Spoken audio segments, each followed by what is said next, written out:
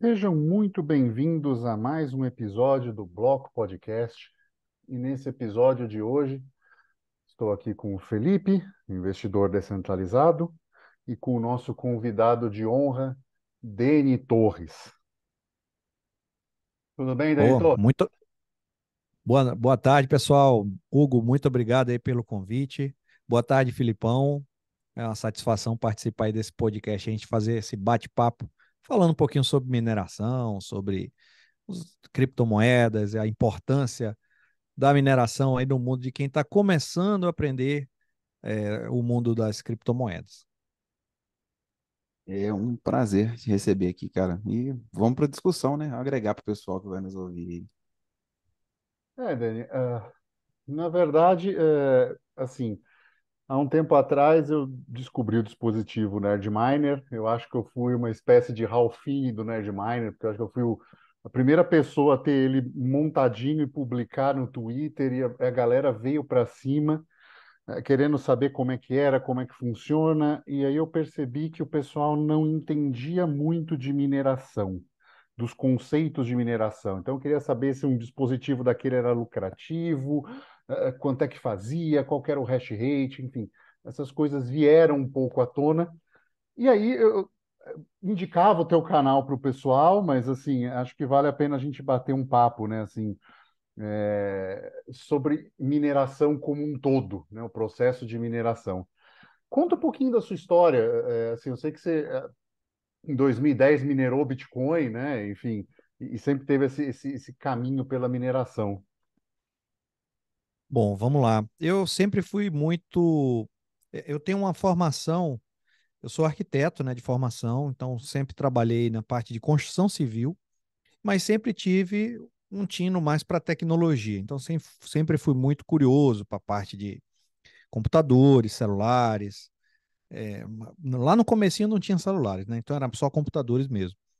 E muita gente tinha dificuldade em, com tecnologia. É, qual hardware que eu utilizo? Eu preciso comprar um PC? Qual que eu devo usar? E eu era, vamos dizer assim, um consultor no trabalho. As pessoas iam me perguntar qual computador montar, qual qual televisão escolher. A pessoa que nem sabia escolher televisão, que coisa, né? E eu sentava ali e explicava para as pessoas: ó, oh, computador, você tem uns componentes, tem um processador que ele é bom para isso, a memória é bom para isso, o HD é bom para isso. A depender do uso que você for utilizar o seu PC, é bom você pegar um processador melhor, ou uma placa de vídeo melhor, ou mais HD, ou mais memória, depender da utilização. E alguns amigos até falavam assim: Poxa, você fica explicando, eu já vi você explicando a mesma coisa para várias pessoas. Esse você tinha que ter um negócio do tipo, pô, é, a pessoa já, já ter já um, um blog. E aí surgiu o blog do Dani Torres, onde eu comecei a explicar algumas coisas sobre tecnologia nesse meu blog, que é o dntorres.com. Não tinha ainda YouTube. Aí depois, quando surgiu o YouTube em 2006, foi quando eu comecei, a... aí foi quando eu criei o meu canal no YouTube.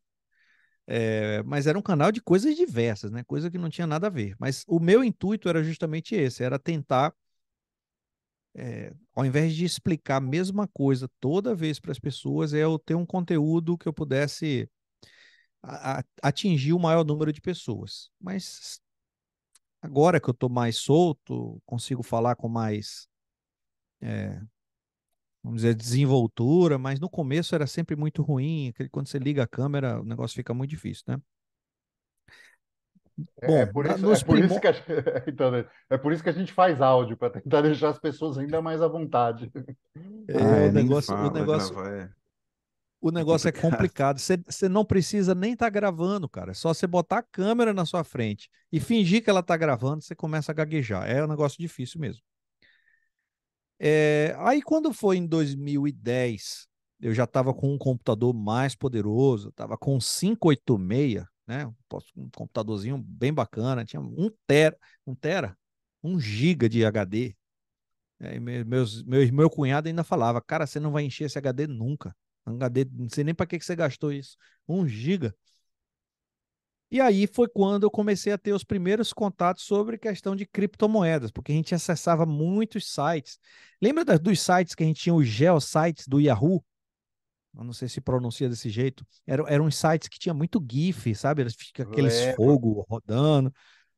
E Lembro ali tinha tinha uma parte de alguns sites tinham uma parte de monetização de Bitcoin para que você pudesse acessar o site. Você, se você acessasse, você tinha, vamos dizer, um, uma, uma manivelinha virtual, um cassino, que se você acertasse três bezinhos, três moedinhas do Bitcoin, você ganhava uns satoshis lá. E assim, eu ganhava uns satoshis mesmo. Só que a gente sempre rolava a roleta e chegava um momento que zerava tudo de novo, e eu perdia tudo que eu ganhava. Mas ali eu fiquei curioso, falei, pô, será que dá para eu, como é que eu faço para ganhar essas moedinhas aí? Porque tinha alguns sites que aceitavam o Bitcoin como pagamento.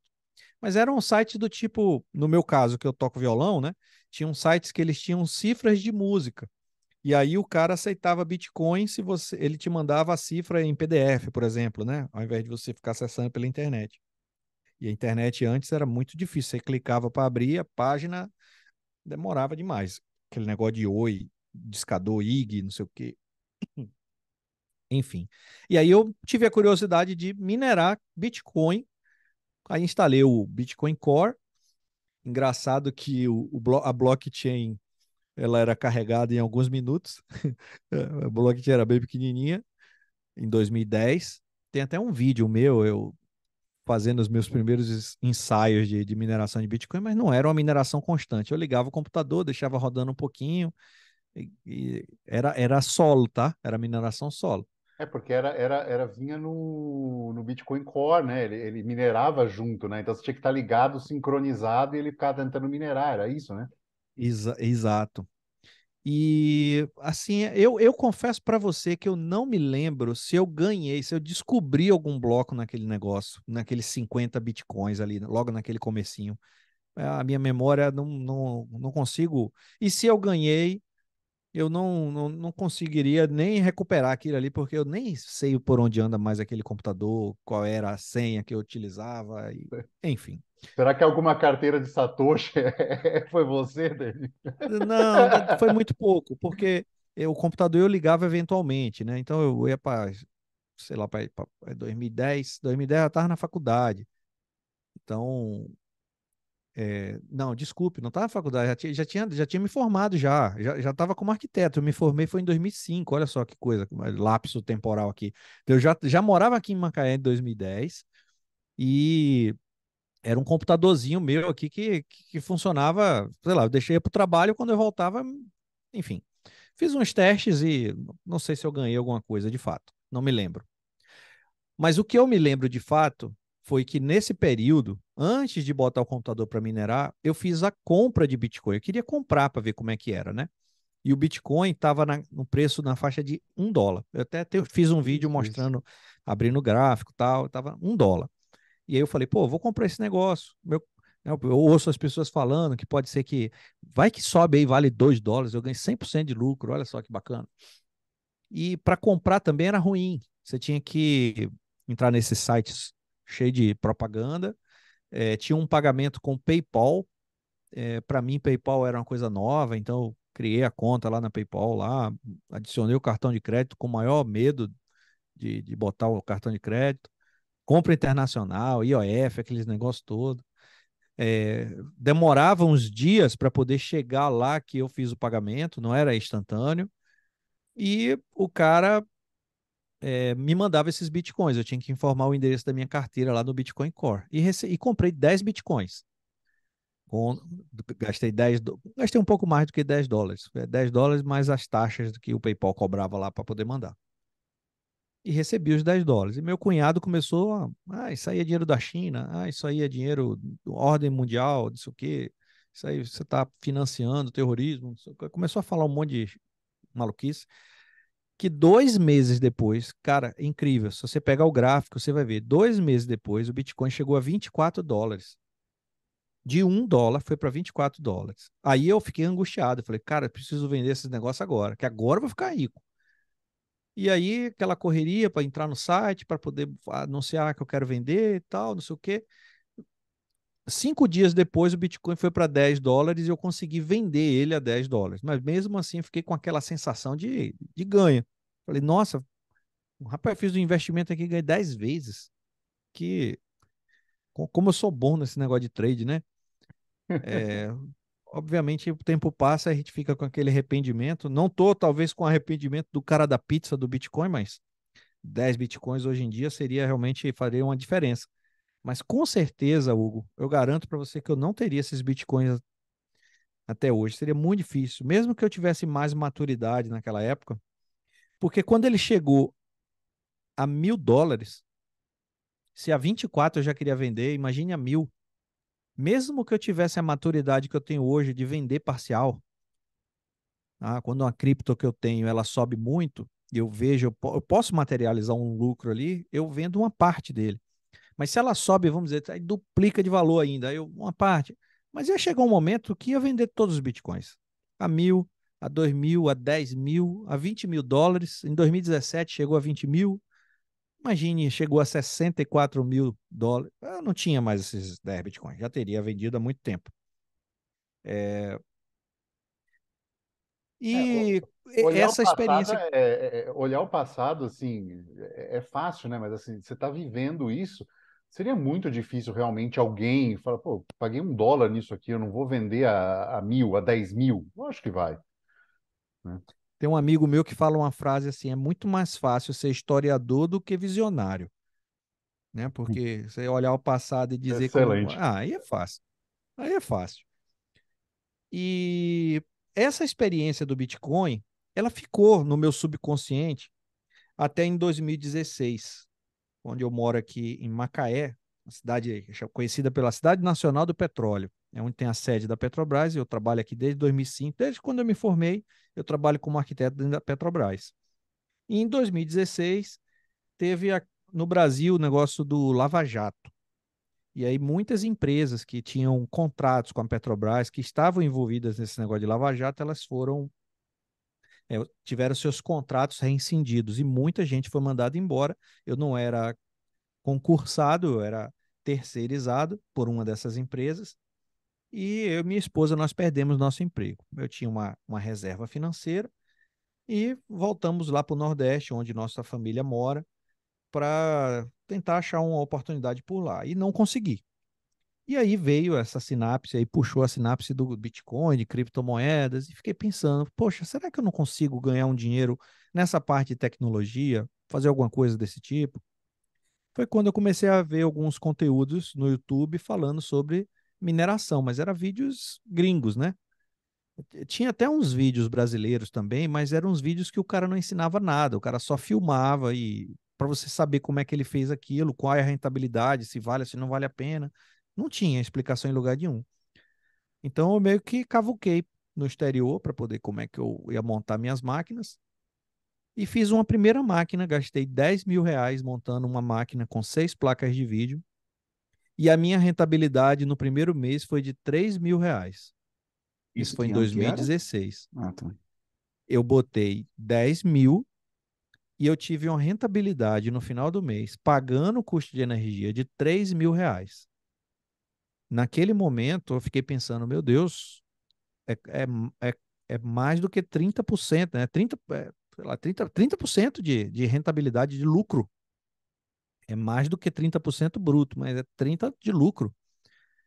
Falei, chamei minha esposa e falei, amor, o negócio aqui é de verdade, tá funcionando. E ela olhava para uma máquina ligada na tomada, ela não entendia muito como é que aquilo ali poderia ser realmente rentável foi quando a gente decidiu se mudar para o interior da Bahia, onde o lugar era mais barato, energia mais barata, escola de criança mais barata, e a gente poderia montar um quartinho de mineração. E aí eu peguei um carpinteiro, montei um quartinho e comecei a montar as máquinas ali.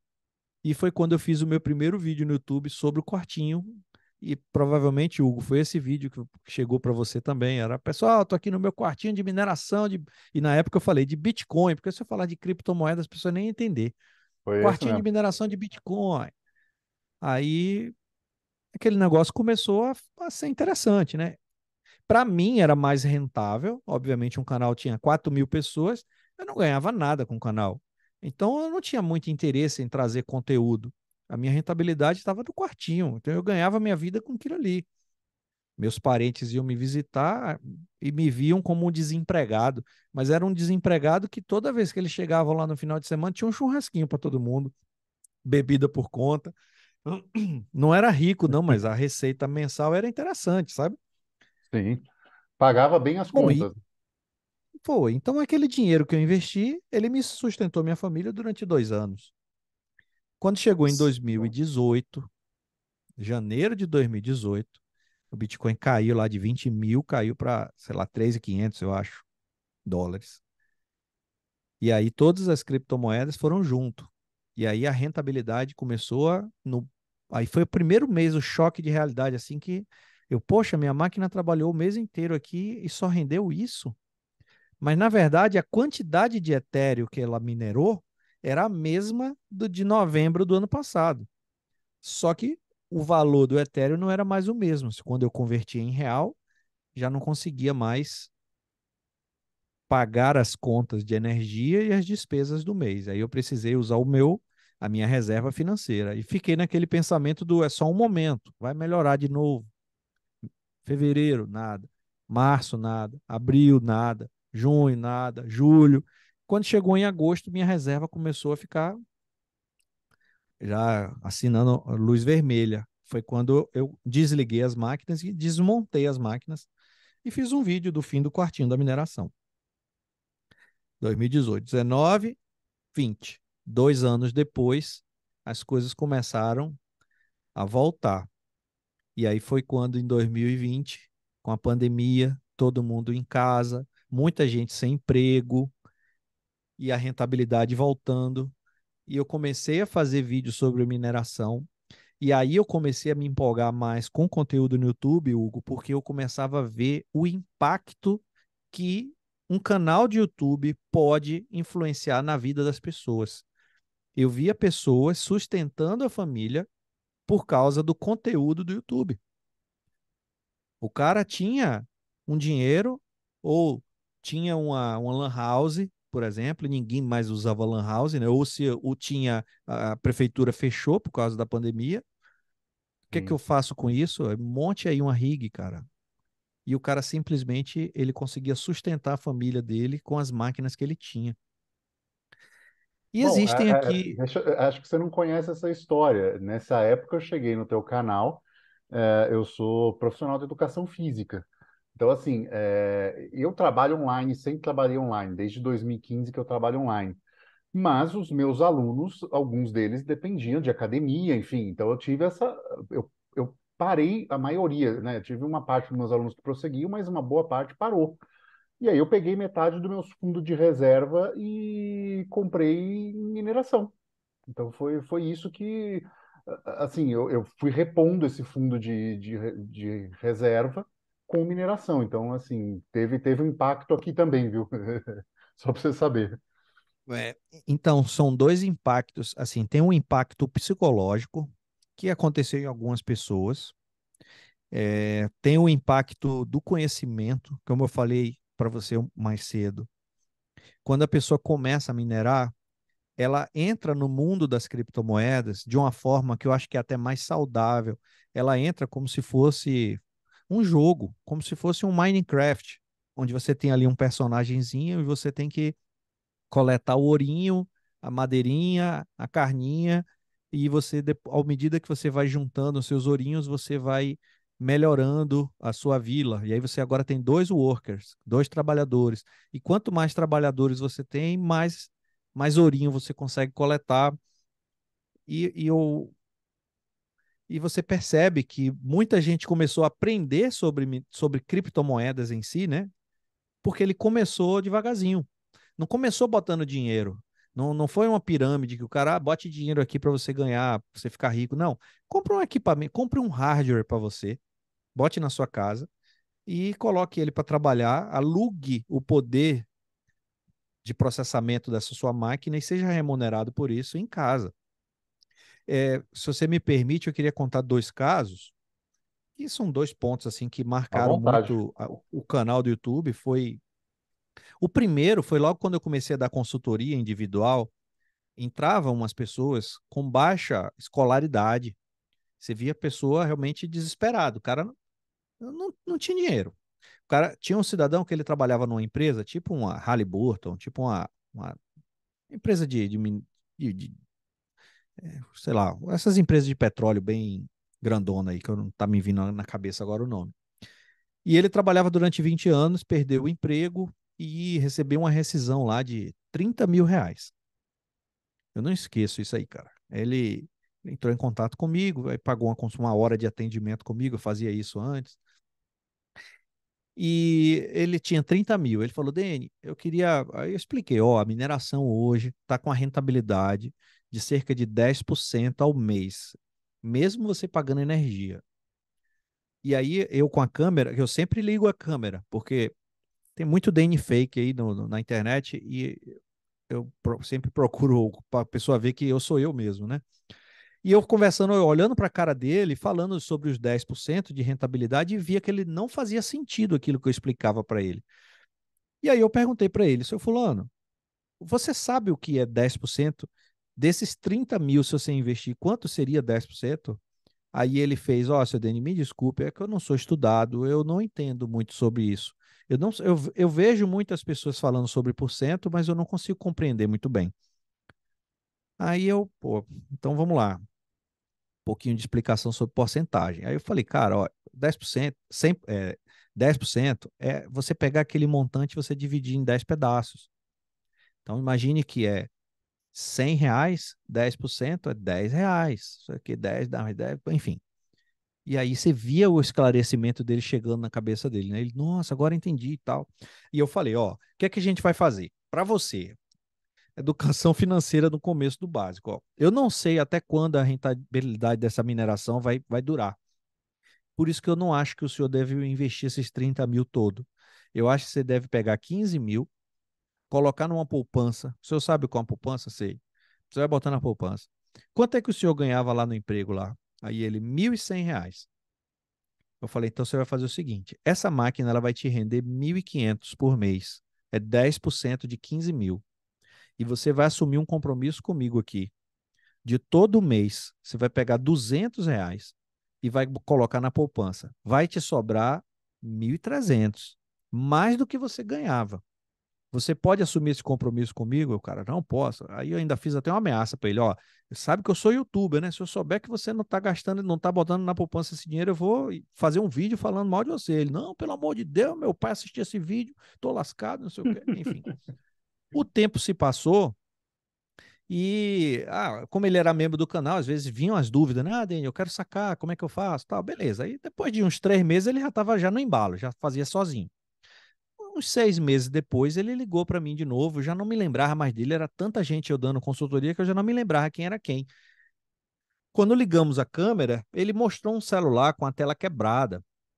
E eu achei que era um cara querendo me pedir favor, me pedir um dinheiro para consertar a tela de celular quando na verdade ele estava me ligando para me pedir autorização para ele tirar uma parte do dinheiro da poupança para comprar um celular para a esposa que tinha quebrado, que a esposa queria trocar um celular, mas ele não, ele não tinha autorização. O Dene me proibiu de sacar o dinheiro da poupança. O que eu falei para ele foi, cara, no futuro vão surgir uma. Um, é, é, o seu fundo de emergência. Vai surgir uma emergência. Seu filho vai ficar doente, o carro vai bater, o celular da mulher vai quebrar e você não vai precisar pegar dinheiro emprestado. Você vai ter o seu dinheiro, o seu fundo de emergência para cobrir umas emergências. E aí foi quando eu falei para ele, cara, beleza, tá autorizado. Ou acho que nem foi isso. Eu falei, não, você vai fazer o seguinte: você vai tirar por mês uma parte da sua mineração. Ao invés de você não bota 200 reais por mês lá na poupança, não bote 200 reais mas pague uma prestação do celular de 200 reais. Eu autorizo você ficar sem botar na poupança, mas não mexe nessa poupança. Aí ele, beleza. Então, esse aí foi para mim um aprendizado bacana, porque eu vi que tinha pessoas que assistem ainda o canal que não entendem nada. E eu vejo que quando o meu conteúdo, às vezes eu dou aquela puxada um pouco de assunto mais técnico, a galera boia. A maioria das pessoas não tem, não sabem o que é Bitcoin, a maioria das pessoas que, me, que, que estão ao meu redor, é, não as pessoas que estão ligadas aqui a canais, essas coisas, mas amigos de, de antigos, do trabalho, do, né, daqui da rua, a menina da padaria ali, eu pergunto, a senhora aceita Bitcoin? Aí ela, não, moço, você não quer isso. A maioria das pessoas não sabe, ou quando já ouviram falar, associa a algum golpe de pirâmide que alguém usou o nome de Bitcoin, criptomoeda, para poder enrolar alguém. Então, o desconhecimento de, de criptomoeda realmente é muito grande ainda. E é importante, eu acho, que para que no meu conteúdo eu sempre traga conteúdos básicos para que as pessoas possam entender ali ó, o que, que é devagarzinho. Enfim. É, é, é, o trabalho de base, de educação de base, né? seja do brasileiro, seja de qualquer lugar do mundo. Assim, eu hoje estou aqui em Portugal, mas eu estava em São Paulo, mas hoje eu tenho mais acesso a pessoas do mundo inteiro. E, e, não é diferente, Dani, sabe? É, é, as pessoas não sabem o que é, é por que, que o, o sistema Fiat está assim, sabe? Por que, que uh, houve essa quebra do. Né, hoje, a gente está gravando hoje no dia dos 52 anos do, do, do, do Nixon, né? Fim do Bretton Woods. É, do fim do Bretton Woods. E, e, e as pessoas não entenderam que isso se representou para o mundo até hoje. Né? Então, assim, esse seu trabalho de base, e essa história, assim, é, é, é, é emocionante é, que você contou agora. Coloca a gente para pensar que você pegou uma pessoa assim e colocou e inseriu ela no mundo das criptomoedas. E, e ela, e ela começou a entender, e, e, aí, tendo aquilo na mão, né, que é uma coisa que eu falo bastante, tenha na mão a criptomoeda, seja Bitcoin, seja o que for, tenha na mão. Experimenta, veja como é transacionar uma coisa. Você colocar isso na mão das pessoas e, e ela ainda assim ter um ativo, né, que é o, é o hardware, é o computador, são as placas de vídeo, que é algo palpável, que ela pode vender se, se acontecer alguma crise, alguma coisa assim, ela ainda uh, tem esse dinheiro de volta, é algo muito importante. Inseriu também na, na, economia, até mesmo poupar e tudo um mais, pouco, né? teve um pouco de educação. Agora, tem uma situação. É, bom, esse é um caso realmente de. É, que, que, era, que era bastante comum, né? De pessoas com baixa escolaridade, que não tem muito conhecimento. Agora, tem alguns casos de que a mineração mudou a vida da pessoa num sentido mais é, individual, não ligado a financeiro. E tem um que foi bem extremo e que me impactou demais. Até hoje, quando eu falo, eu lembro da pessoa. Eu perdi o contato dessa pessoa. Eu preciso buscar ela de novo. É, ela tinha comprado o meu curso, eu tinha feito um curso de mineração de criptomoedas, e aí a pessoa comprava e depois entrava no Discord e eu tirava dúvidas lá, tal. Aí uma vez ela marcou comigo uma consultoria, quando ligamos a câmera, num primeiro contato eu achei que era uma brincadeira de mau gosto. Eu achei que era alguém com algum filtro desses programinha que distorce o rosto da pessoa, mas a pessoa, ela tinha uma má formação física. Ela, ela, ela, uma cadeira de rodas, o pescoço dela era bem grudado no tronco, né? a cabeça no tronco, os punhos eram voltados para dentro. Ela não, não andava, ficava em cadeira de rodas. Então, na hora que eu percebi que era de verdade, né, eu teve um momento ali que eu fiquei meio sem graça, né, sendo sincero com vocês. E aí conversando com ele, tal, beleza, tal. E aí, cara, vamos quer montar uma rig? como é, você, talvez que você comprou o curso, tal, tentando puxar um assunto, né? Aí o cara fez, não, Deni, eu já tenho a rig, eu fiz o seu curso, eu já estou minerando, eu só estou te ligando para poder te agradecer, porque eu queria agradecer a você por você ter salvo a minha vida. No primeiro momento, achei que fosse uma coisa assim meio exagerada da parte dele, né? E fiquei meio sem graça e falei, pô, que é isso, cara? Pô, mineração, como assim, salvar a vida tal? Aí ele explicou, Dani, ó, eu sou órfão e eu moro num, num abrigo aqui, é, é como se fosse um asilo, né? Só que tem outras pessoas com outros problemas, né? Então eu tenho o meu quartinho aqui, eu recebo um auxílio do governo que paga aqui o, o, o negócio. Não sei se era uma, não sei se o pai dele era militar e ele ganhava uma pensão do pai, alguma coisa desse tipo, mas era um dinheiro, tipo 3 mil, 4 mil reais ele recebia por mês. e ele é, tinha, ele tentou suicídio em 2020. A vida dele estava sem razão de viver. Ele acordava de manhã, tinha um pátio bonito assim no quintal do, do lugar lá, e ele via as pessoas brincando e ele não não podia ir brincar, né? Ele não andava. E ele ficava só tomando os remédios, esperando a hora de dormir novamente, para poder acordar no outro dia e repetir o processo. Então, para ele, estava um negócio realmente que insuportável. E ele pegou um monte de remédios que escondido tentou tomar para morrer. A enfermeira chegou, socorreu ele, fez lavagem estomacal e ele não morreu. Aí ele falou que a situação piorou, porque ele se sentiu incompetente até para se matar. Cara, ele foi contando e eu fui me ficando depressivo né, na, na conversa com ele. Mas o final foi muito bacana, porque ele viu o negócio do vídeo no YouTube, ele montou uma rig, tinha quatro plaquinhas lá, 580, né, umas plaquinhas bem fraquinhas, mas ele, Dani, hoje eu acordo, a primeira coisa que eu faço é pegar o celular e ver se o Hive OS não travou de noite. Aí eu vejo como é que está a cotação do Ethereum. Aí eu vejo se subiu se não caiu. Aí eu vejo se a minha encomendinha aqui no, numa programinha de rastreio de, de coisas, se o adaptador, se o Riser que eu comprei está chegando, tá para chegar.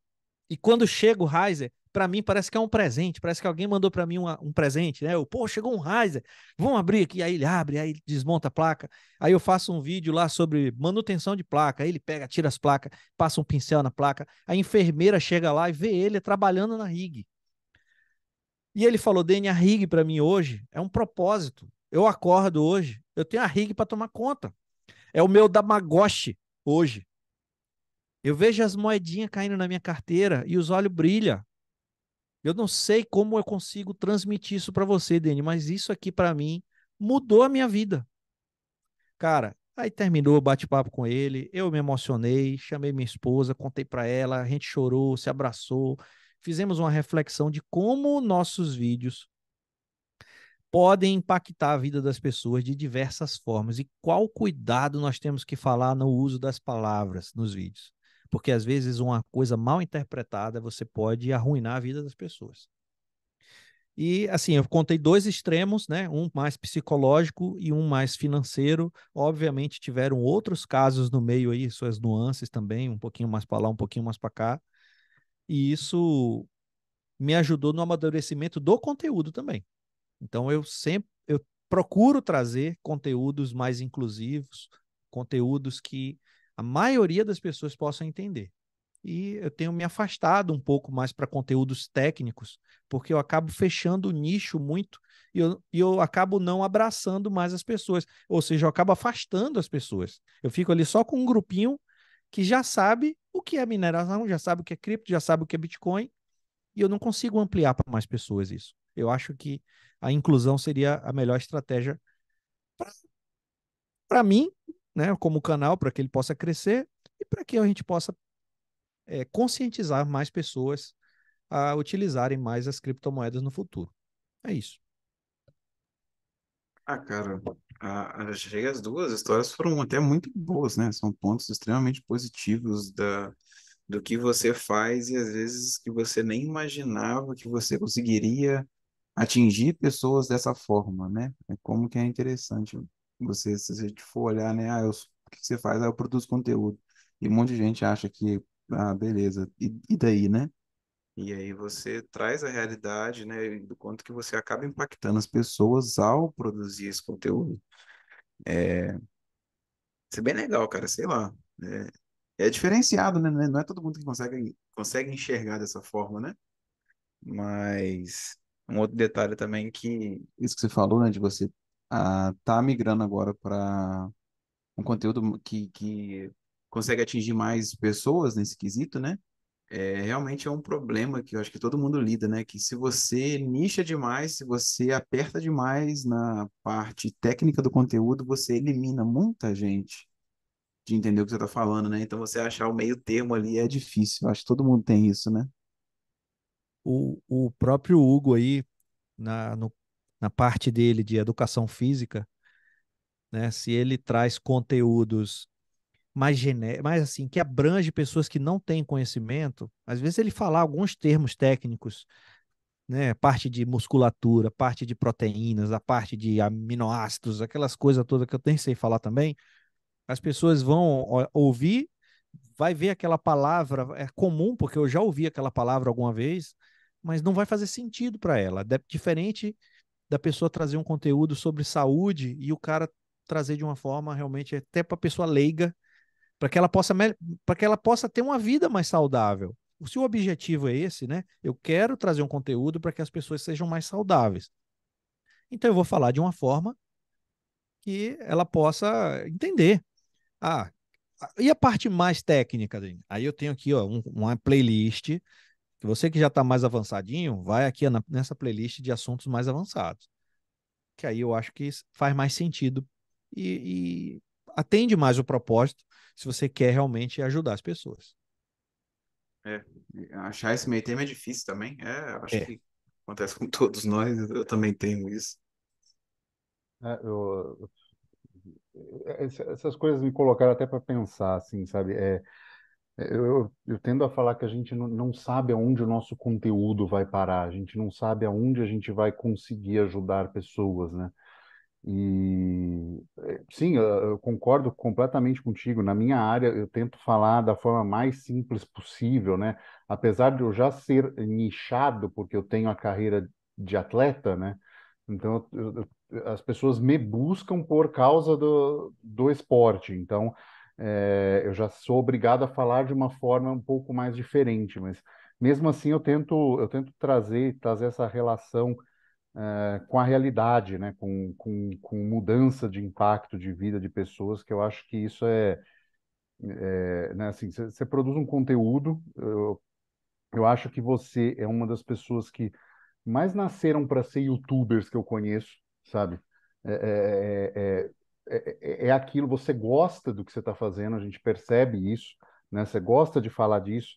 É, quando, quando chega para falar com uma pessoa, você tenta ajudar sempre da melhor forma possível, né? eu, eu falo que foi você que, que me motivou a isso, porque eu estava vendo seus vídeos do quartinho, chegou uma hora que eu vi uma frase que o teu pai colocou e você colocou lá, né? Se você não tentar, nunca vai saber se vai dar certo. E foi. Caraca, bicho, essa plaquinha tá aqui comigo até hoje. Pois é, e, e foi essa placa que eu olhei e falei: não, pera, deixa eu ver os preços aqui. Aí você começou a fazer os vídeos novos, né? Deixa eu ver os preços aqui e tal. Eu tô com essa placa mãe aqui parada. É, deixa eu ver. E, e, foi aí que começou, sabe? Um, um, interesse que eu já tinha, mas que é, era uma coisa que nesse momento, né? Assim, por ser Brasil, é, as pessoas não sabem muito isso, mas a gente depende de um conhecimento regional, né? Não é só olhar os vídeos dos gringos lá fora, porque uma pool, por exemplo, né, ela tem servidor em diversos lugares. Então, às vezes, você vai ficar com um servidor muito longe, você fica com um ping muito alto. Então, uhum. uh, né, se tem alguém produzindo conteúdo seu país, fala, olha, essa aqui tem servidor brasileiro, né? Então, é essa a importância Isso. de ter um produtor local de conteúdo, né? Exatamente. É... Hugo, é... falando mais um pouquinho aqui sobre aquela parte do assunto técnico, eu não sei Sim. se vocês. É, tirando a parte ideológica, tá? Que às vezes a gente fala o nome de algumas pessoas como exemplo e a gente busca a parte ideológica, eu não sei como é a, que vai ser a, a opinião de vocês, mas sabe o professor Olavo de Carvalho? Sim, sim. Independente do que as pessoas que tem ideologias diferentes da dele. É, ele, é uma pessoa, ele, foi, ele era uma pessoa extremamente culta, pessoa que a, dedicava a vida dele para estudar, para entender as coisas. Sim. E as coisas que Olavo falava é, demorava muito para eu entender completamente o que ele, que ele falava, qual era a mensagem que ele queria passar. E às vezes, para que a gente possa ter uma verdadeira empatia de uma coisa, a gente tem que viver aquela coisa. Sem viver, é difícil eu passar para os meus filhos uma experiência sobre separação ou como a dor de cabeça de um filho dá, uma preocupação, o filho demorar de voltar para casa à noite. Se a criança ainda é uma criança, ela, ela vai ter dificuldade de ter uma empatia daquilo que você está vivendo. E é um pouco aquilo que a gente falou e agora sobre o Felipe também comentou. Devia ser muito difícil para o professor Olavo de Carvalho falar de uma forma simples, para que a maioria das pessoas pudessem entender. É natura... Ele falava de uma forma mais rebuscada, mas era a forma mais simples que ele falava. E o, o trabalho, eu acho que tem que ser nessa linha. A gente tem que, às vezes, tirar um pouquinho a nossa tec... nosso tecnicismo para que, é, para que a gente possa, as nossas palavras possam chegar a mais pessoas. Eu tenho feito uma parceria com o Diego Collin, que é uma pessoa realmente incrível. É, eu, eu ouvi aqui o, pod, o último podcast que você fez com ele. É, ele me convida para que todas as terças-feiras eu possa participar das aulas. É, eu participo como convidado, porque o Diego, ele, as, as explicações dele são muito precisas, mas a maioria dos alunos não consegue compreender muito bem. E aí eu faço tipo uma tecla SAP junto dele lá na, na aula, sabe? É, o, ele, professor, a pessoa pergunta assim, professor Diego, é, o canal aqui não está roteando, o meu Node Lite não está roteando. Aí ele explica, ah, porque o seu é, o rate está ativo e o inbound não está suficiente para que o rebalanceamento possa acontecer. Aí o cara, pô, que, que que ele quis dizer, né? Aí eu fiz, ó, ali, ó, naquela parte onde vai entrar o dinheiro, você tem que aumentar aí a porcentagem, bota ali 30 para poder entrar e o outro lá você diminui, bota 10. Ah, certo, beleza, pronto. Na, o cara pode não entender na hora o significado daquilo que eu mandei ele configurar, mas ele vai lembrar depois, ele vai falar, por que, que o Danny mandou eu botar 30 nesse e 10 nesse? Aí a compreensão do assunto vai vir de uma forma até mais intrínseca do que simplesmente ouvir uma orientação de como é que tem que ser. E aí a nossa parceria está sendo assim. O Diego, na parte mais profunda do assunto da, de, de, de Bitcoin e Node Lightning, e eu, tô, eu ajudo ele na parte do, da prática. É, como criar um Node? Aí eu faço na prática. Aperte esse botão, desliga isso, liga agora, faça assim, tal, acende uma vela e torce para que o negócio dê certo. É, é, é, o, o Colin, eu gosto muito dele ele já eu já vi vídeos dele assim que me colocaram duas três horas para pensar e tentar resolver o negócio para para é, tentar entender assim eu, eu gosto dele assim eu gosto muito de, de tecnicismo né é, então, uhum. então é uma coisa que me desafia muito assim eu, eu gosto de ser desafiado nesse sentido mas é eu, eu entendo assim ele, ele acaba afunilando um pouco chega uma hora que a pessoa ela olha ela não entende na hora né Uhum. Mas, mas aí uma pergunta é, que sempre me perguntam também, né? E eu sempre eu tenho uma thread que eu sempre coloco para a pessoa. É, mineração compensa, Dani? De, de, depende do perfil da pessoa. É, a mineração é, é comum a gente confundir mineração, é, atividade de mineração como investimento financeiro. São coisas distintas. O investimento financeiro, você pegar ali 10 mil reais e aplicar em uma aplicação financeira, tipo um CDB, um fundo de investimento imobiliário, comprar uma ação. Depois de um tempo, você consegue retirar de volta aquele dinheiro investido mais o lucro. Mas mineração não é um investimento financeiro, é um negócio, é um empreendimento. É como se você fosse montar uma lanchonete. Você descobriu ali naquela região da sua cidade que existe uma escassez ali de lanchonete e você poderia fazer um bom dinheiro ali. E aí você compra ali os equipamentos para compor a lanchonete, compra as cadeiras, aluga o espaço, manda pintar as paredes, faz uma cozinha bonita, tal. A lanchonete funciona, você tem a sua rentabilidade e chega um momento que a rentabilidade deixa de ser atrativa porque surgiu um concorrente maior que você, você não vai conseguir vender os equipamentos que você comprou para sua lanchonete pelo mesmo preço que você pagou. Então, um negócio ele é mais arriscado do que o investimento financeiro. Logo, a rentabilidade ela tem que compensar esses riscos. Se você faz um investimento financeiro e ele é mais seguro, está fazendo dentro de um banco, você aceita uma rentabilidade maior, menor, desculpe. Se você quer empreender, como a gente tem mais riscos envolvidos, tem que ter a perspectiva de um retorno maior. Então, voltando à sua pergunta se mineração vale a pena, a mineração é um empreendedorismo. Você, é, como é o custo da sua energia? Você tem um lugar para montar suas máquinas? Você tem sistema fotovoltaico? O lugar onde você mora é frio, é quente, é, a internet é boa, é ruim, a, a energia da sua região ela oscila demais, vai corre o risco de danificar os seus equipamentos eletrônicos. Então tem uma série de avaliações eu faço geralmente uma anamnese para a pessoa que quer começar a minerar. Eu faço um, você sabe mexer em um computador, você sabe configurar certas coisas que às vezes o cara não tem nem aquela habilidade de mexer em computador. Não adianta nele comprar o equipamento. Ele não vai nem saber baixar um minerador novo, uma versão nova, ou corrigir. Não, troque o endereço da carteira. Troque a pool, a porta da pool está errada. A pessoa não vai saber nem fazer isso. Então, mineração vale a pena a depender do perfil da pessoa. No meu caso, eu tenho uma energia fotovoltaica e a minha estratégia de minerar é ter uma quantidade de equipamentos hoje compatível com a quantidade de energia que eu gero, para que todo esse saldo minerado eu consiga transformar em Bitcoin sem ter a necessidade de todo mês fazer PIX para uma corretora ou fazer P2P. Então, a minha mineração, o objetivo é o meu INSS de Bitcoin no futuro. Então, todo mês eu compro Bitcoin sem precisar fazer Pix para ninguém. Nesse é caso, você faz swap?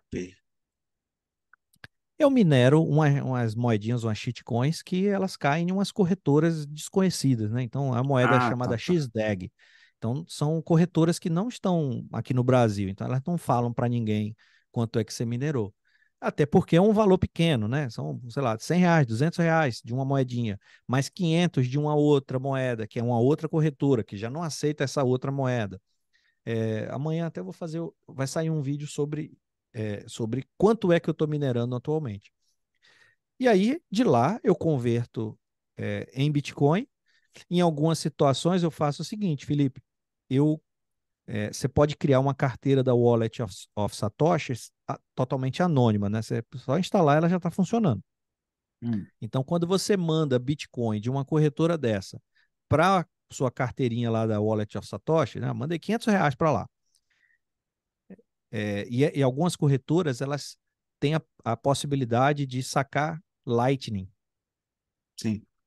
Aí você manda Lightning para o Wallet of Satoshi, e da Wallet Satoshi você faz o recolhimento on-chain para sua carteira definitiva.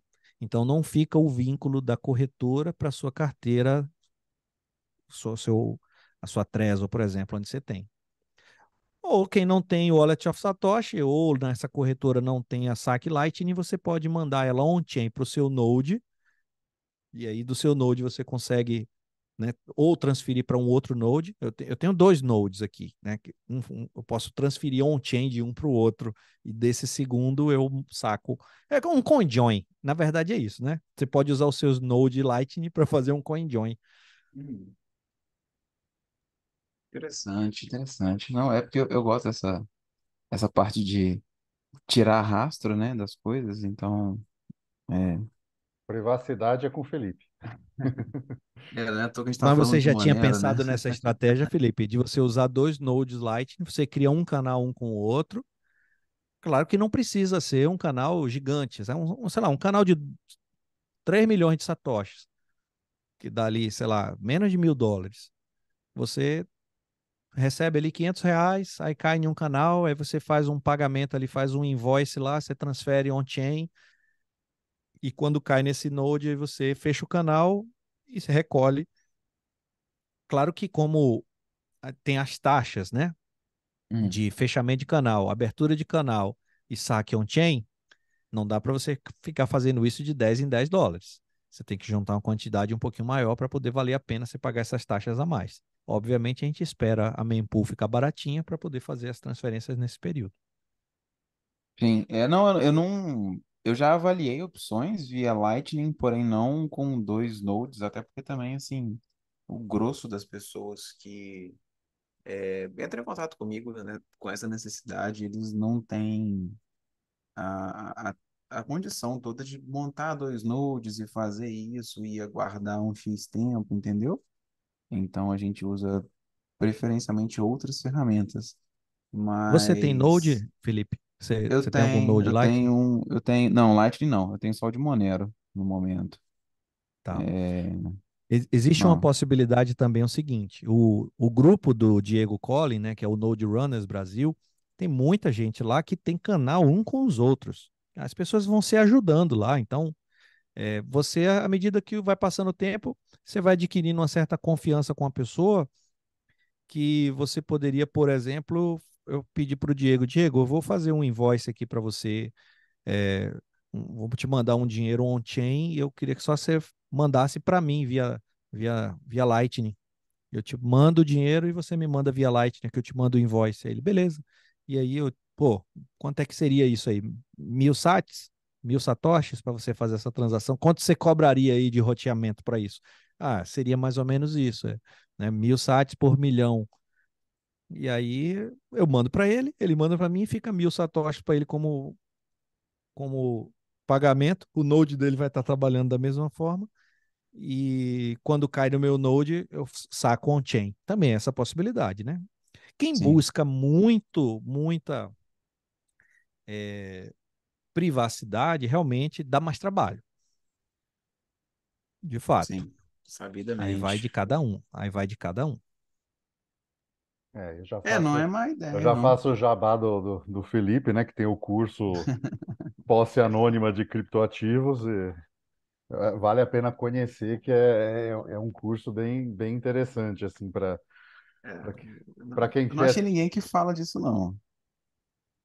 Olha, do nível que você fala, eu não conheço ninguém, não. É, Em português, eu não conheço. Tem um Anderson que fala disso, que ele, ele tinha um canal que ele falava de Bitcoin e tal. Ele fala mais de privacidade e tudo, mas na web como um todo, não só com criptomoedas nesse sentido. É mais é, como você tem um celular seguro, como você tem um computador mais Isso. seguro. Aí é Eu mais. sigo, eu sigo o Anderson também. É o CyberDef. Isso, ele esse cara é boníssimo, ele. Ele é fera demais, é. Mas, Dani, mais uma perguntinha aqui. ah, rentável mina- mineração, assim, é, é, tem, uma, é, é, essa- as pessoas que sempre vêm, vêm com essa ganância, né? Que, que é É. válida, né? Uma ganância válida. Pô, vou colocar dinheiro, quero saber rentável, né? Eu, eu tenho mostrado algumas alternativas de rentabilidade, né? Por exemplo, eu tenho o meu ASIC aqui. Aí eu vou lá, pego, eh, compro carne no, no açougue, faço aqueles jerk beef. É, eu vi umas fotos você viu, né? no Twitter. Custa, custa 70 euros o quilo. Quer dizer, então assim, aí se torna rentável, porque você pode vender isso, né? Você pode. É, mas aí não é, não é a rentabilidade da mineração em si, né? Você pegou um aquecedor e um secador de Exatamente. cabelo faria a mesma coisa. Exatamente. É, é, a, a ideia, a ideia é um pouco disso, sabe? Assim, mostrar que este calor, apesar dele ser um colateral em muitos casos, como é no Brasil e tal, ele pode virar soluções dependendo da, do que você quer, né? Então, assim, você pode Sim, virar para secar fruta, pode secar a carne, pode... é, tem, tem situações que dá para aquecer água, né? Quando você faz por imersão.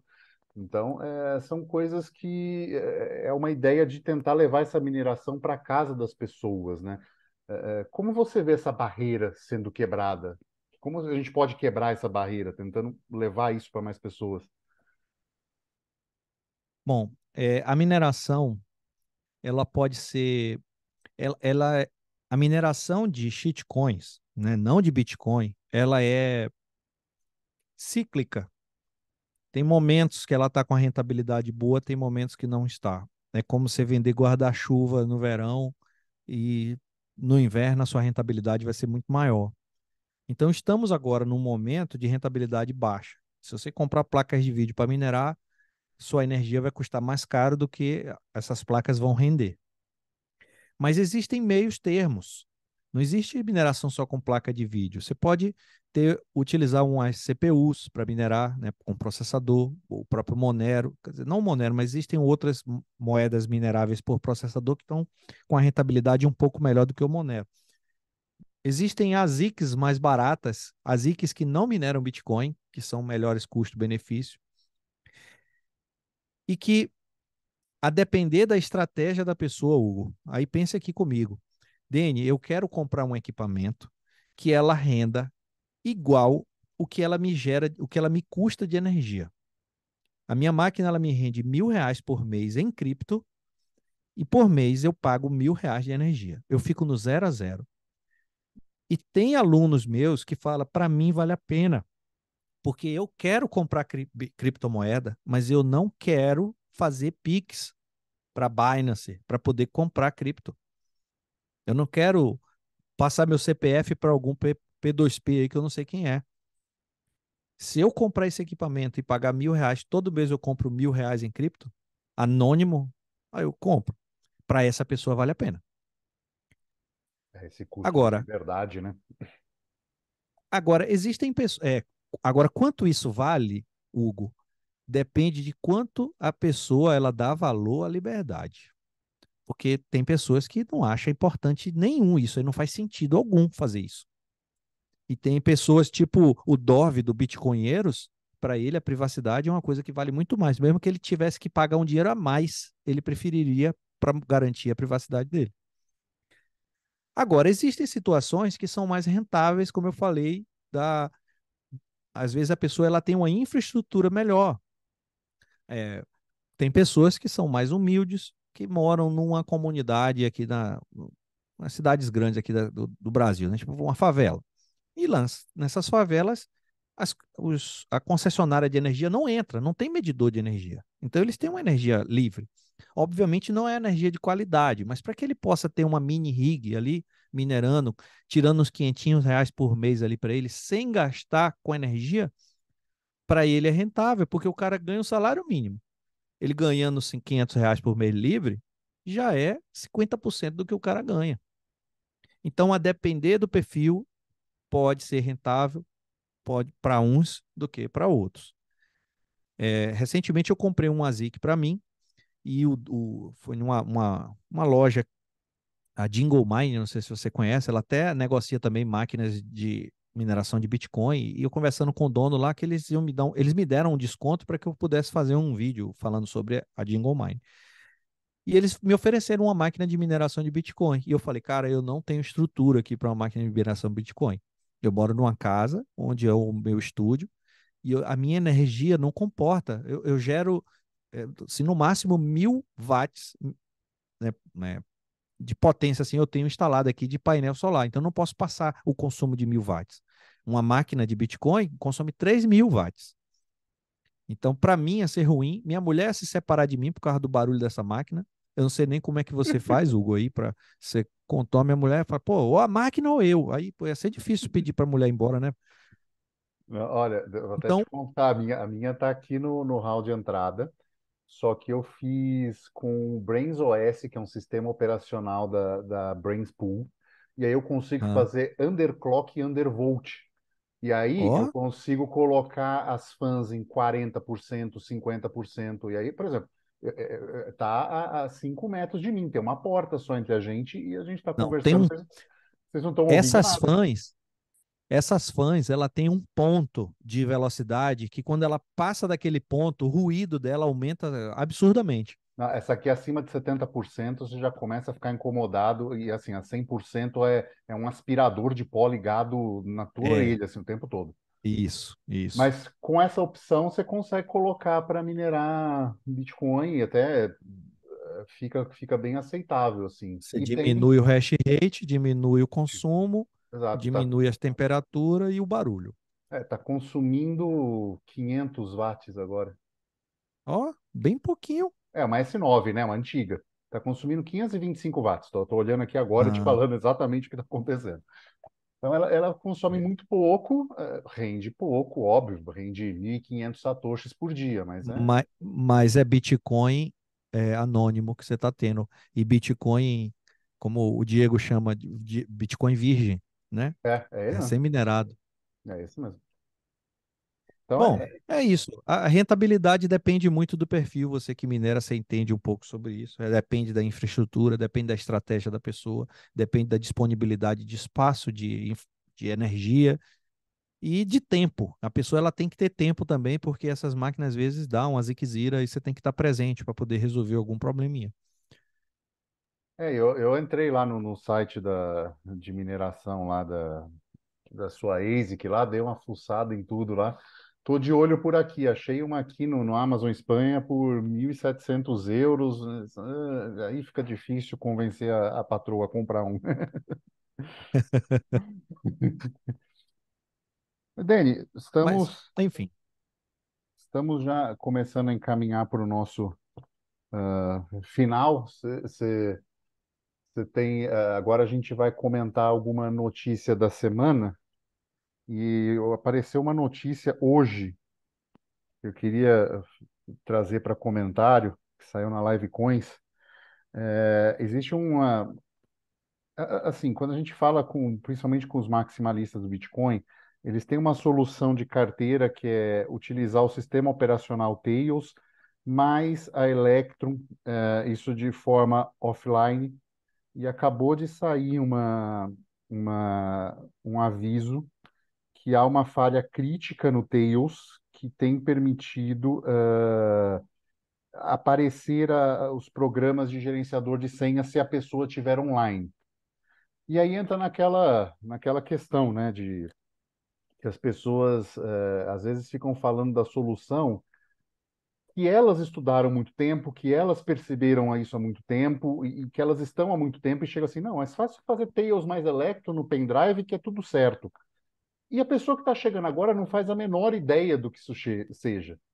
E, e, tenta apressar isso e tenta conhecer isso, e às vezes vai lá, por exemplo, nesse caso, né? Assim, aparentemente é uma coisa que só funciona online, e, e o Tails Electrum, via de regra, você faz isso offline, mas se a pessoa não conhece, ela vai lá, coloca online e, e aumenta o risco desnecessariamente, né? Acho que essa isso. questão de, de segurança que a gente precisa do usuário, né? O Felipe geralmente Bom. faz um comentário também sobre. Não, eu esperava, eu esperava achei que o Dani ia, ah, ia tá. falar. Mas que eu estava esperando. Mas. É... Fala, que bom que descobriram. Que bom que descobriram. Que bom que o Tails é open source e per permitiu que a gente descobrisse essa falha. Né? Se ela fosse uma empresa centralizada, Com talvez certeza. ficasse oculto esse problema durante muitos anos e gerasse prejuízo para as pessoas. Eu compreendo que, de fato, a, o aprendizado da autocustódia é uma coisa muito sofrida, pra, ainda mais para as pessoas que não têm habilidade com tecnologia. E para muitas pessoas, eu até recomendo que ela deixar o dinheiro em uma corretora é mais seguro do que a autocustódia. Eu percebo que a pessoa ela não tem. O computador da pessoa é cheio de programas piratas, o celular tem mais joguinhos do que tudo, tem qual carteira eu instalo? Eu falo, nenhuma. Nesse celular, e qualquer coisa que você botar já era, meu amigo. Não faça, não bote nada nesse celular. Ou você tem um celular velho, formatado, offline, leva até numa assistência técnica, cara. Você leva para assistência técnica fala, meu amigo, eu quero que você arranque aí, tira com solda o, o chipzinho do Wi-Fi dele. E o Bluetooth também, e não vai ter chip. Que aí não, não, não corre o risco de você ligar o Wi-Fi. Aí fica menos perigoso, né? Aí ele poderia ter a Electron no Android, mas obviamente não o Android nativo, o Android da Samsung, da Motorola, né? É o Android do Line OS. Conhece o Line OS? É, eu conheço, é ele e o Calix, são os dois mais top, né? Exato. Eu pretendo trazer uns conteúdos sobre o Line OS, mas não, eles não são compatíveis com tantos celulares, então é, não vai servir para muita gente isso, né? Então a pessoa tinha que ter um celular que, que seja compatível com o sistema.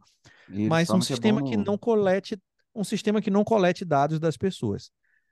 É, a autocustódia isso. realmente é uma tarefa muito difícil. Então, para muitas pessoas, até chegar nesse nível, é melhor que deixe na corretora. É melhor, porque é, um, é uma transição, cara. Se for valores mais altos, se o cara tem muito dinheiro, se eu tenho lá 10 bitcoins, eu vou contratar uma pessoa para fazer a custódia para mim. Eu vou contratar o Hugo, uma pessoa de confiança, e falar: Hugo, eu não sei mexer com criptomoeda. Você é o meu assessor de finanças. Você vai me ajudar aqui, cara. Você vai tomar conta do meu dinheiro.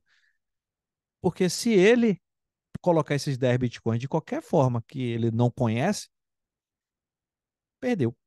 Primeira coisa que ele vai fazer é mandar um telegram para ele mesmo com as palavras secretas. Isso acontece muito. Não, o Telegram é seguro, é criptografado. Ele manda um Telegram para ele mesmo com as palavrinhas. O outro manda e-mail para ele mesmo, como se ninguém lesse os e-mails dele. Ah, eu boto no bloco de notas, no, só no computador offline, tal. Essa, nada disso funciona.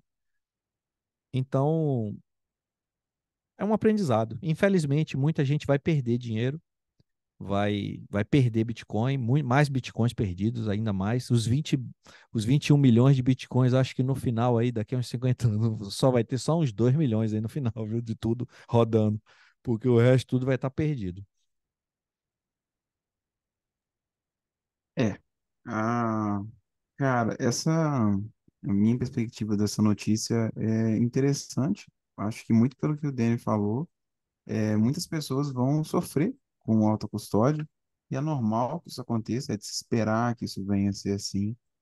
Mas, de qualquer forma, eu fiz até um, um artigo, na verdade, eu tenho um, um redator muito bom, né, que me auxiliou num artigo sobre autocustódia, é, que eu vou lançar no meu Substack essa semana agora, e que a ideia é mostrar não como que você faz autocustódia, mas por que que você faz autocustódia. As pessoas, às vezes, elas não entendem isso, né? mas passa muito pelo que o Dani falou, de que você tem que avaliar a sua realidade. E às vezes a gente pensa, né, tipo assim, poxa, é, eu tenho um bom senso de não instalar esse monte de coisa no meu telefone, portanto eu tenho uma hot wallet, né, e ela é segura por anos. Só que vai ter uma pessoa que vai, às vezes, ouvir eu falando para instalar uma hot wallet no telefone e em dois meses vai perder tudo que tinha, né? Então, assim, são vários aspectos a serem considerados. É, mais precisamente falando em Tails e Electron, a, a opção de Tails e Electron ela é boa, sim, mas eu acho que ela é uns dois, três passos para frente da maioria do mercado. Não é todo mundo que tem conhecimento ou às vezes até a vontade, né, de se dar o trabalho de baixar um Tails, instalar um Tails no pendrive, conseguir acessar, deixar ele totalmente offline, fazer assinatura de transação offline. Pô, Ninguém quer fazer isso. Se o pessoal já acha o Bitcoin difícil de você acessar e usar, você imagina fazendo assim. Então, assim, é uma barreira muito grande para a pessoa usar Tail mais Electron. É, e, assim, é por isso que, em alguns casos, eu recomendo, é, assim, com muito cuidado, claro, tá? Eu avalio a possibilidade de você ter uma hardware wallet bonitinha, usar uma passphrase e tudo mais. É, eu acho que ainda assim é um pouco mais fácil do que isso, né? Mas pelo menos que bom, né? Que isso foi descoberto, isso vai ser corrigido e não tem jeito, é continuar nessa, nessa luta aí. Eu acho que é a gente que tem que ir orientando as pessoas, né? E educando para o pessoal conseguir uma, assim, uma forma que seja a melhor para a realidade deles. No fim das contas, eu acho que é isso. A passphrase é uma ferramenta fantástica de segurança e que eu não ouço tanta gente falando sobre passphrase. Não, tá e doido. Você... Pra... Meu... Não, assim, eu não, eu, eu ouço, assim, sendo sincero para vocês, eu eu vejo as pessoas só anotando as 24 palavras e pronto. Não, Poucas não, pessoas não. sabem que existem o hidden, o, o hidden wallet, né? Você é. uma palavrinha, a vigésima quinta palavra, é, Não, no meu é caso, por isso. exemplo, eu, eu- eu- Ah, tal- talvez seja, talvez seja o, o meio que você tá, Felipe. Talvez você esteja próximo de mais pessoas ou conversa isso constantemente com pessoas que, mas é, como eu falei, eu pego pessoas que não sabem nada. É, as, as 24 palavras é, para ela é novidade. é. É, não, eu entendo, assim, eu, eu introduzo muito esse assunto, às vezes não muito no, no aberto, né, mas em conteúdos mais fechados, eu gosto de tratar muito esse uso de passphrase, porque, assim, eu falo isso com o pessoal, é essencial. Assim, é indiscutível você ter a passphrase por conta de alguns quesitos, não só a questão de segurança, mas algumas coisas que a gente gosta de avaliar, né, que eu falo, né, lá no curso, a questão de é, negação plausível, a questão que você tem que avaliar a possibilidade do seu dispositivo ele ser levado à força, ele ser furtado, Aham, que seja, aham, e a pessoa que vai achar um dispositivo desse, que vai olhar é, na sua gaveta e vai olhar uma Ledger, uma Trezor ou uma SafePal e vai meter a mão naquele negócio, vai falar assim, hum, eu vou levar isso aqui, o cara sabe que ele tá levando. E o cara, quando ele meter a mão naquele, ele vai falar assim, me dá as palavrinhas.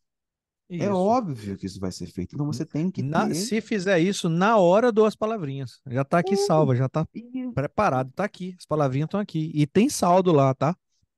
é óbvio, é negação plausível. Pô, uai, tá vendo? Eu tô falando. Entendeu? É isso. Boa. É, É isso.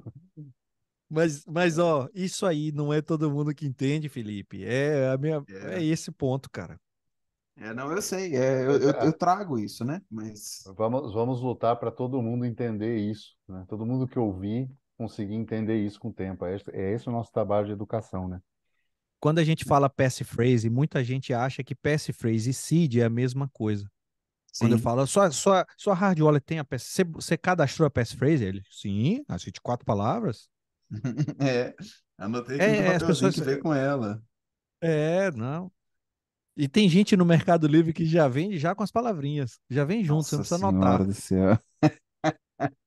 Esse é o pior de todos, né? essa eu não É, sabia, cara, não. tem, você já compra para facilitar a sua vida. Compre É, aqui um uma hard wallet que já vem com as passphrases, você não precisa ficar anotando 25 palavras, confirmando, já vem já, enfim. Dani, eu lhe agradeço muito pelo tempo.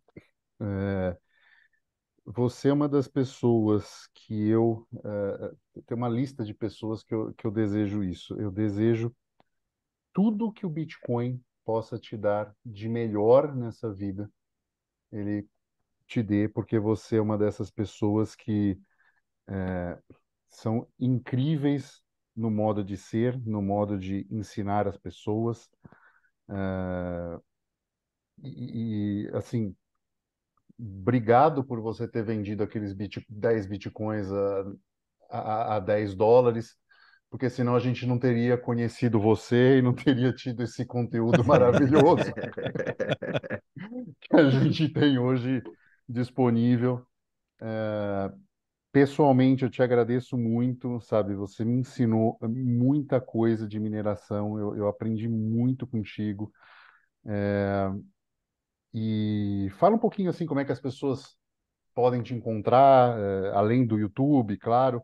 Sei que você tem um grupo no Telegram muito bom, que você divulga eh, preços de, de hardware baratos, promoções e tudo. Fala um pouquinho dele.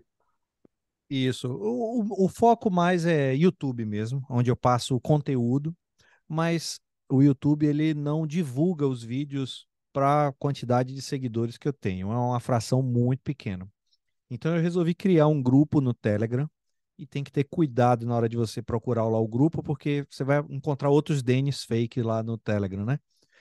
Mas qualquer, na descrição de qualquer vídeo tem o link do Telegram oficial. Então é só, em vez de você ficar procurando no Telegram, vai num vídeo do Dene, bota no YouTube, bota mineração de criptomoedas, vai aparecer um cara feio lá, sou eu. Você clica na descrição do vídeo, tem lá o, o link do Telegram. E basicamente esse grupo, ele nasceu para divulgar os vídeos das coisas que eu faço. Ó, gente, vai sair uma promoção, ou vai sair um vídeo amanhã, tal. E aí, obviamente, eu coloco lá também algumas promoções de hardware, porque é, o canal não se mantém somente com o YouTube, mas também com links de afiliados. Não dá para, mesmo com o canal com quase 200 mil inscritos, não dá para a gente viver somente de YouTube. Não é um canal de. Se eu tivesse tirando a blusa, dançando pelado em cima de uma caixa d'água, certamente daria muitas views.